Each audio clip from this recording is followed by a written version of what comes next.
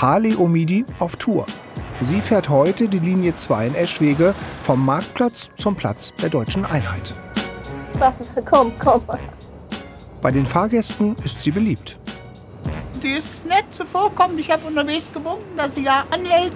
Dann hätte ich auch schon abfahren können. Sie fährt so sicher durch unsere Straßen durch. Das ist ja nicht immer leicht. Die ist sehr, sehr hilfsbereit. Wenn die merkt, es geht was nicht mehr rauf und runter. Ein Traum für jeden Fahrgast. Und bei der deutschen Tugend Pünktlichkeit ist sie ganz vorne mit dabei. Die armen Leute stehen Wärme, Kälte, Regen, Schnee, Haltestelle, hatte einen Termin für Arzt oder warte auf Zug.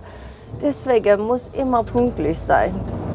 Wenn man sie auf ihre Flucht aus dem Iran anspricht, kommen ihr auch heute noch die Tränen. Wir haben nur ein Koffer, Reisekoffer gepackt. Das war's. Was kann ich so daran nehmen? Meine Vater, meine Mutter oder meine Haustiere? Gar nichts. Jetzt hat sie die deutsche Staatsbürgerschaft, lebt mit ihrer Familie in Eschwege. An der Schule ihrer Tochter fährt sie jeden Tag vorbei. Sie ist meine Heimat hier, wie meine Heimat, weil ich habe jetzt so viele Freunde, Bekannte. Ja, ich liebe jetzt Eschwege. Linie 2 zurück zum Marktplatz. Mit Halle Omidi bestimmt eine kurzweilige Fahrt.